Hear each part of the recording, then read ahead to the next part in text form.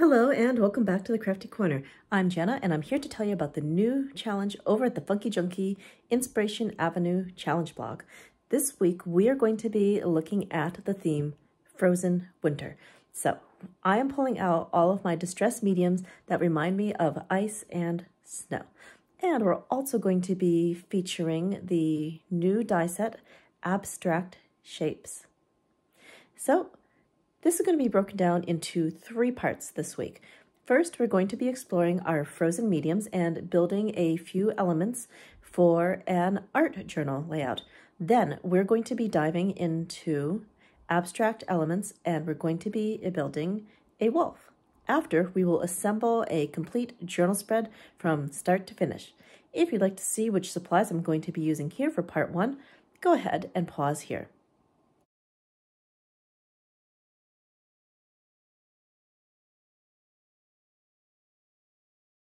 All right, let's head over to the crafty corner. Today we're working to the theme of frozen winter. So, to fit with that theme, I'm going to be looking at some frosty cold frozen mediums. We've got crackle paste translucent, crackle paste icicle, distress paint crackle, and grit paste snowfall. So we're going to be looking at four frozen mediums, and as a bonus, I'm also going to be throwing in some Distress Glitter Clear Rock Candy. So to start with, so we can best see these mediums at their advantage, I am going to be creating a quick tag using some Distress Spray Stains and Oxide. To start with, I am taking a regular size standard tag and we're going to spritz that with some water from the Distress Sprayer few quick spritz, and now let's go ahead and add some color. Before we add too much color, I am going to put down a small scrap of paper towel to catch some of the liquid. I love using the splat box. I love using the splat box, but it takes up just a bit of space and I don't want the camera to bump off of that today. So let's go ahead and we're going to start with a dash of Salvage Patina. Next, let's go in with some chipped sapphire, just a little bit. Oh, there. And a bit of broken china. Good. Now I'm just going to let this blend out with some more water. I'm Just going to spray the tag. We're going to pick up the tag in order to get the ink to move. And then we will dry it off. Okay. I like the look of that. So, well, let me just go ahead and put this on fast forward while we give this a quick dry.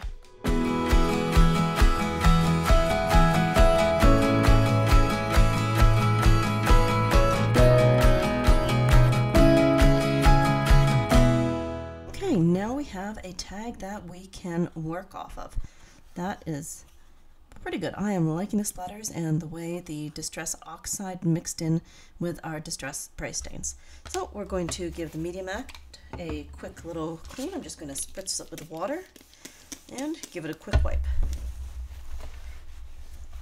Okay, now we're going to dive into the differences between the four different medias that we have here.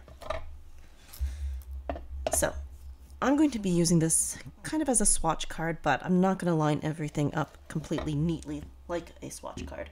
I want this to turn into more of a little mixed media tag that I can die cut up at a later date. So first, let's go ahead and spread some of the Distress Crackle Paste Icicle. I'm going to spread that near the bottom. Let's see how that turns out. Now this stuff is pretty neat because it has little bits of glittery mica in it. It's hard to catch the shimmer in this light, but it is there. So let's go ahead and spread that out. I'm to pick the tag up and just kind of scoop that on here. Not really trying to go for a specific shape. I just want to get a corner of this coated with icicle. Okay. That should be good. Now I'm layering this on fairly thick because I do want there to be some fairly prominent cracks when this dries. All right, so we'll just wipe this off and we will get our next medium. Next, I'm going to be putting a little bit of Snowfall Grit Paste down in the other corner. This one is pretty different from the other two. This doesn't crackle. This leaves a icy, snowy look wherever it's put down. So take that and we'll just spread that right here. Totally different consistency and this is going to dry semi-transparent. Okay, I'll just scrape that on. And we'll just have that overlap just a little bit. And I'll put the extra back into the jar.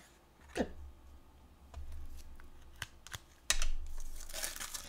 Now, let's go ahead and add some of the crackle paste translucent. This should give us a fairly prominent crackle. Now, this one and the crackle paint do similar things but the look is different and the viscosity, as you will notice in a moment, is also very different. For the translucent crackle paste, we have this creamy consistency that is kind of, it's kind of like mayonnaise. It's thick enough to stay put on the palette knife, but it's still smooth enough that it is easily spread. So we're going to take some of that and we're just going to add that along here. Again, I'm putting this on about the consistency of butter that you might on toast since we do want to get a nice crackle effect. Okay. Not bad. Now let's go ahead and get a bit of the crackle paint.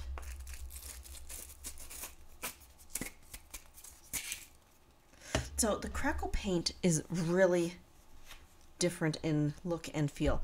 It looks kind of like school glue and it's very, very liquidy. This I'd say is more the consistency of warm honey. As you can see, it drips very easily back into the jar and this will give us a clear, very prominent crackle when dry. So let's go ahead and put a bit of this onto the tag and we'll do a comparison once our elements are dry on the tag. So we're just going to put that down. I'm going to just smear this on the corner and just drag it, drag it down. And tap that off. Make sure that I have a good layer built up. All right. So we're going to go ahead and let this tag dry and we'll be back and see how these different elements have worked. And for a small bonus, we're going to also add a dash of Distress clear rock candy down in the corner right here.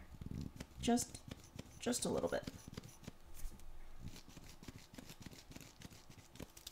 Okay, let's set this aside and let it dry. Okay, let's take a look at how our tag turned out. So on here we used four different mediums plus a little bit of Distress Rock Candy Clear Glitter. So over here we have Icicle. That, as you can see, gives a very icy finish. There's a little bit of sparkle on there, very faint shimmer from a bit of, looks like mica powder. Then over here we have Snowfall. This is pretty crunchy. It has a nice rough texture and it gives the look of frozen snow. Then over here this is where we added some of the translucent crackle paste. It has a very nice crackle on it. The crackle isn't overly dramatic like the opaque crackle paste. It's kind of hairline crackles, um, kind of like broken glass. And then over here we have the Distress Crackle Paint. As you might notice, this is very, very shiny and it looks pretty amazing. So those are our four different types of icy winter mediums. Now, there's more that we can do with this. We can also highlight some of these crackles with a bit of Distress Crayon. So for the Distress Crayon, I'm going to be bringing in four different colors. We're going to be using a bit of Speckled Egg, some Hickory Smoke, Tumble Glass, and Picket Fence. So what I'm going to do is smush a bit of the distressed Crayon into each of the mediums. And I'm going to be matching each of these up with a different section on here. Okay, I think we'll do something like this. So first, let's go ahead and smush some of the distressed picket fence into the corner of the area that has the distressed crackle paint. So I'm just going to smush that on here, then just my finger, I'm going to push that into the cracks. As you can see, the distress crayon really highlights all of those wonderful little crackly bits. That is pretty neat. All right, let's try the one down here. We're going to go in with a little bit of speckled egg. Just going to scribble that over the top again. Smush that in, and that gives us a little bit more of an icy look. I like that. Hmm. Okay, I don't think we're going to get much result down here with the Snowfall grit Paste, but why not give ourselves a couple of little accents over here. So starting that. It doesn't really add anything to the snowfall, but it does allow us to give a little bit of shadow to our texture. All right, now in the top corner over here, this is where we have the translucent crackle paste, and we're going to smush in a little bit of tumble glass. So again, I'm just going to put this down in the corner and smush that in with my finger. As you can see, the crackles here pick up the distress crayon and just highlight the areas. Okay, so that was our little play with different mediums that give us a wonderful frozen look. So I'm going to kind of finish off this tag. I can't help it. The tag is fun, but let's go ahead and alter a piece of seam binding. And we're going to do that with a dash of winter frost. Another wonderful addition to all things frozen. So we'll just go ahead, give this a shake. We've got some sediment in the bottom of this that needs to get mixed in. So we'll give it a shaky shake. You can see the mica has mixed with the rest of this.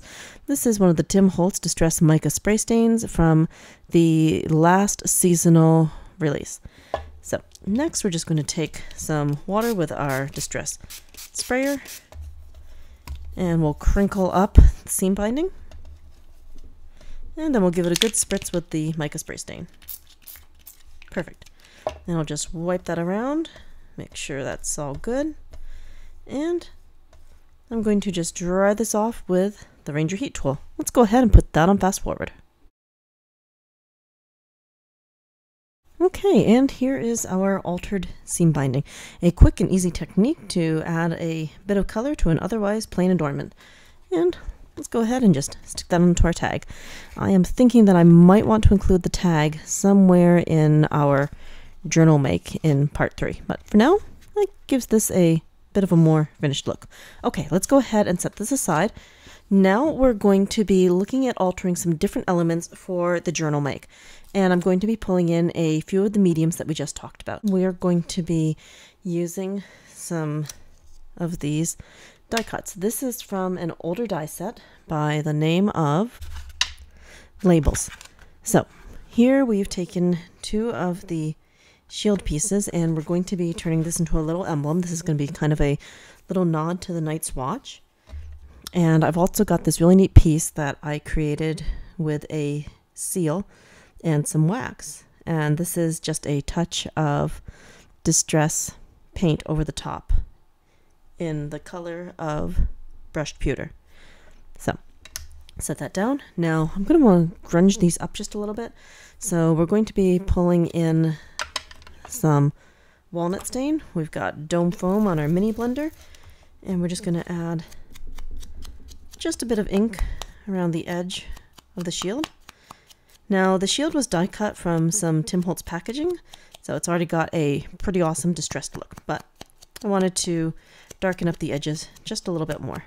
All right, that is good. Now I'm going to pop this up using a bit of foam square. I've got some of these, and we'll take one of the larger pieces these are some of the black 3D foam squares from Simon Says. So I'll just place those on the side and We're going to stick that on the back of the black shield. Now for the black shield, I want to add a little bit of shading around the edges and for that I'm going to be bringing in some Frosted Juniper Distress Crayon. Okay, so just going to flick that on there and then I will smudge it with my fingers. I love using foam squares because it adds just a little bit more dimension to the pieces that you're working on. All right. There, I think I'm happy with that. Cap the crayon and add this. Okay, so we're just nesting that shield right in here. Mm, I know some of the ink kind of wore off. Let's do a second little layering of that. Okay, good. And the last thing I'm going to do is stick this wax seal on here. And to do that, we're going to be using a dash of collage medium. Just spread that on here. Okay, that's good. And we'll just flip this over and stick this down. Ooh, not bad. That will make a good journaling element. Okay, so we're just going to set that aside. We'll let it dry and move on to the next element. For our next element, we are going to be creating our sentiment. Again, I have a couple of pieces die cut from this die set, labels, and this time we're using the large piece and one of the more medium-sized ones. And this is going to be a landing spot for our sentiment. So I'd like to stamp out the sentiment first. I have an older stamp set that I'm pulling in today. Oh boy, this one is from Just Thoughts CMS 078. This one is pretty old, but they're all still good ones. Now, the sentiment that we're going to be borrowing from this set is Enjoy the Journey. And for stamping, of course, we're going to be using some Distress Black Archival Soot ink. Just going to stamp that down on here, make sure we have a good coating. That looks good. Turn this over and stamp. For stamping, I'm using a acrylic block, and this one has some little wavy edges. I like that. It's good for gripping. Okay, stamped sentiment. Good. Oh, I like how we got a little bit of a backwards E in there. That's fun. Okay, and again, I do want to add a little bit more shadow to these pieces. So again, we're going to be going in with some walnut stain and inking up the edges.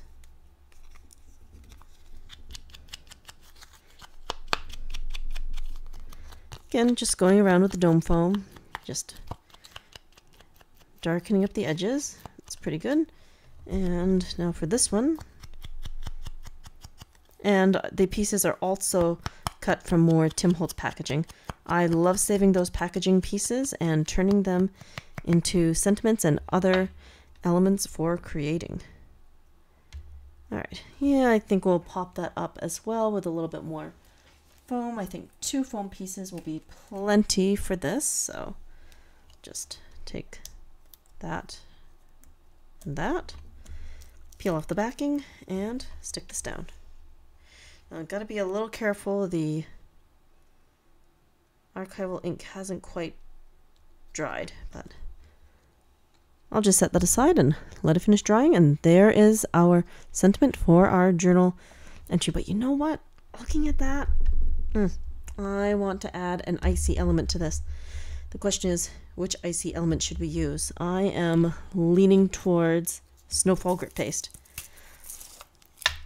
It's probably going to pick up a little bit of the distress ink, but I think I'm okay with that. If there's a little edge of slightly grungy snow, that that's going to be okay. So let's take that. I'm going to put my hand here so I'm not getting any of the archival ink on myself. Yeah, it's going to pick up some of the distress ink. Not a big deal. I just, I want the texture on here. The texture is cool. Okay, just spread it like that.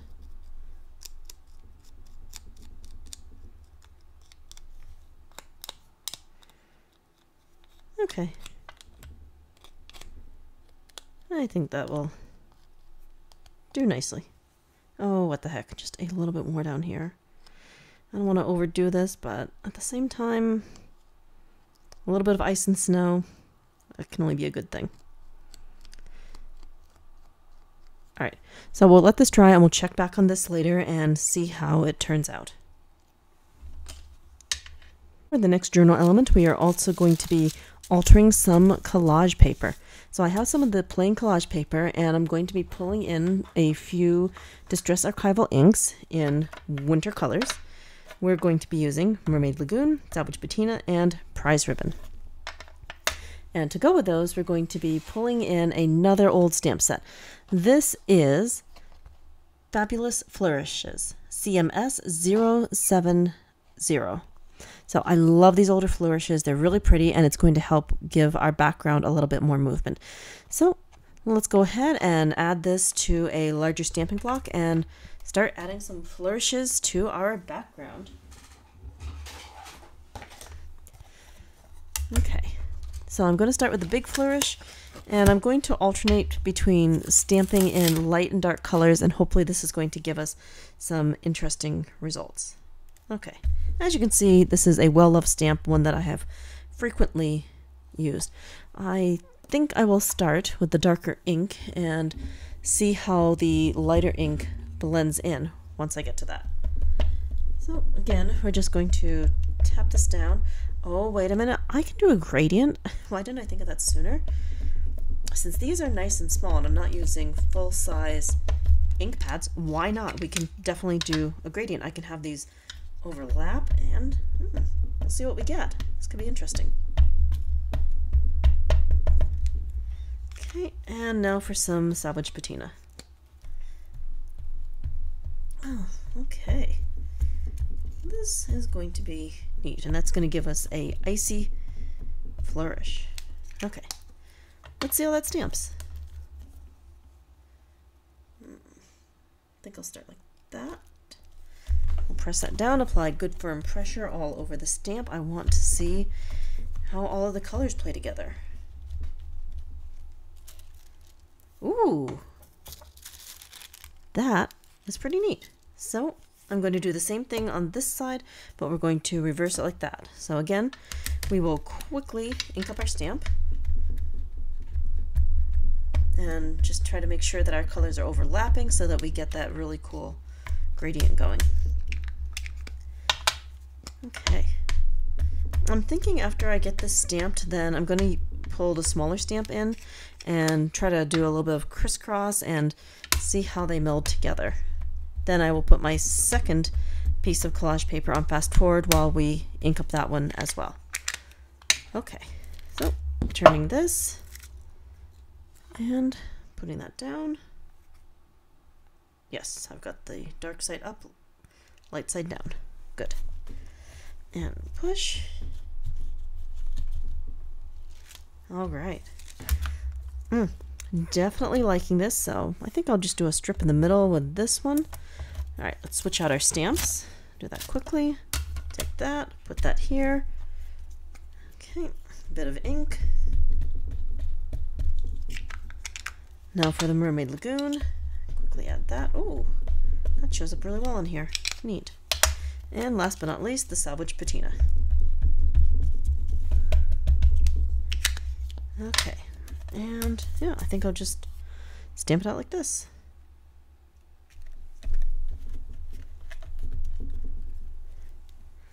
Ooh, okay. Neat. I think I'll try a slightly different pattern with the other stamping, but let's go ahead and put that on fast forward.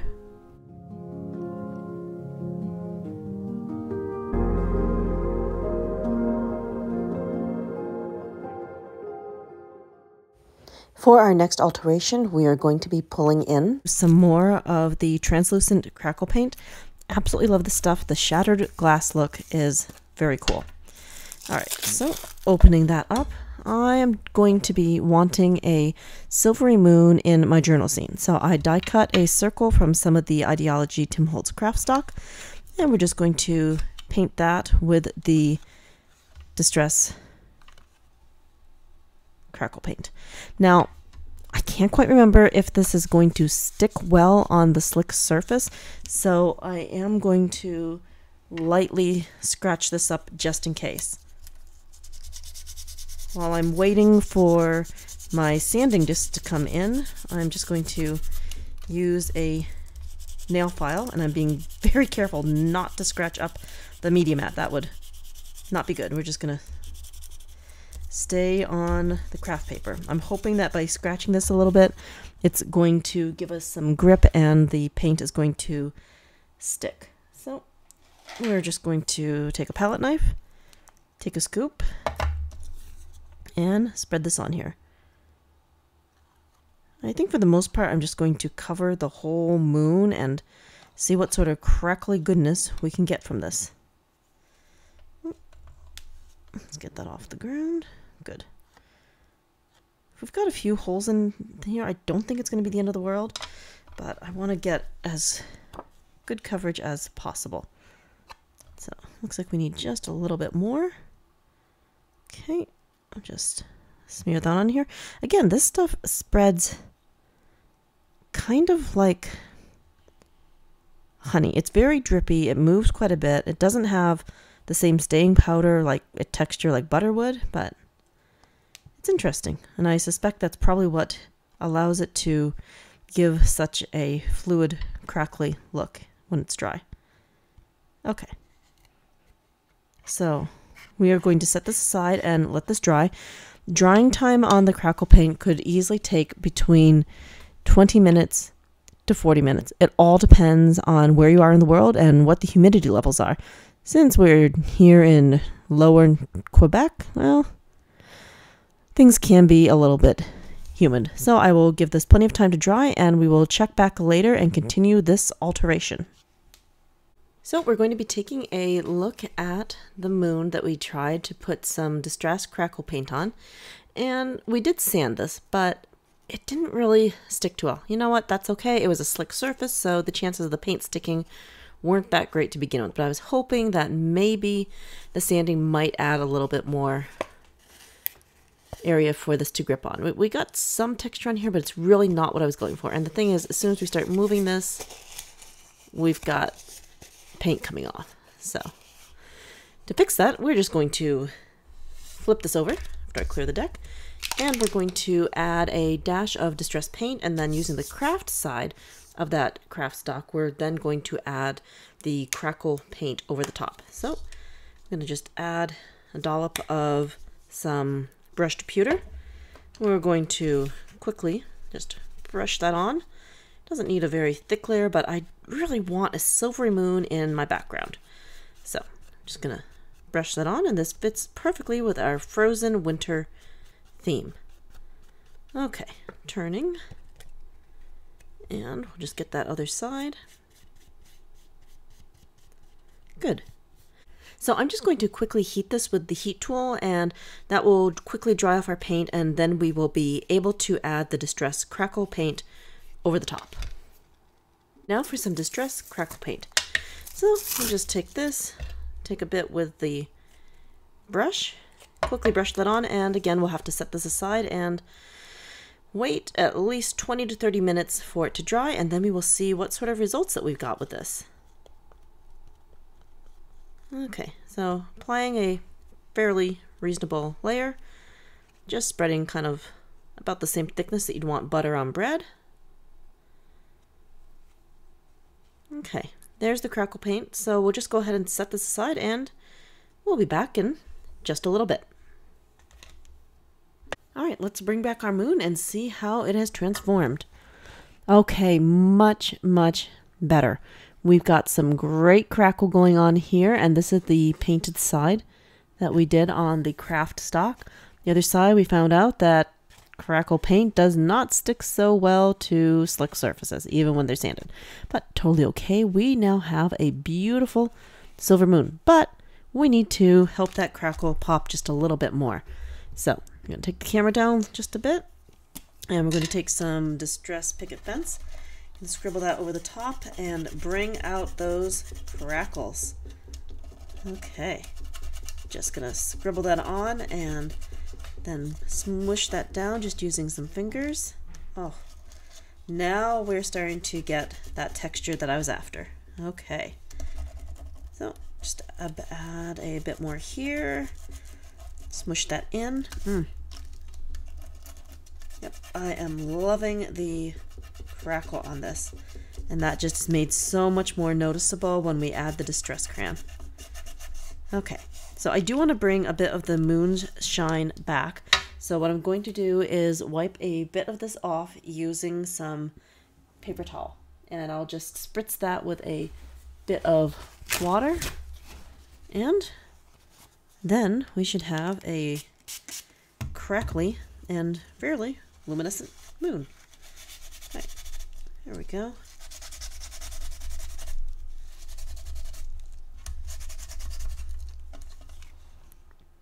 Oh, there we go. I am quite happy with this. Okay, and to do a quick recap on our frozen elements, we have created